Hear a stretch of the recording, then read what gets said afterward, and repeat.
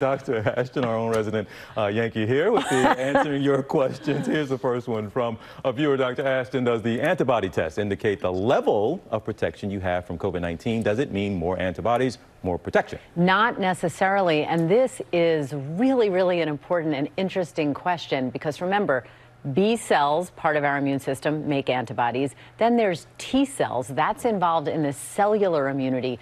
Both of them are important in protecting us against COVID 19. However, in terms of the antibody level, in general, with another infectious disease, for example, I can do blood tests on either of you and get an antibody titer level. I can get an actual number for certain antibodies.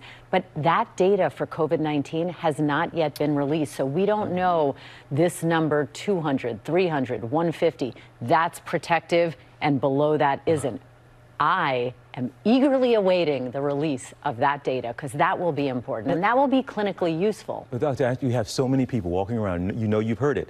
Somebody says, oh, I have the antibodies. I have the antibodies, and they think they're protected. Right. It, you know what? You know what the analogy is like, you guys? It's like saying, well, I, I have ovaries, so I have eggs. it's not just having eggs, it's how they work. So right now, we're not there yet, but they are studying these antibody levels, and they are going to see where that curve crosses when the infection level starts to go up as the antibody level starts to go down.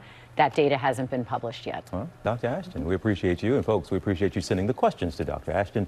Keep them coming on our Instagram at Dr. J. Ashton.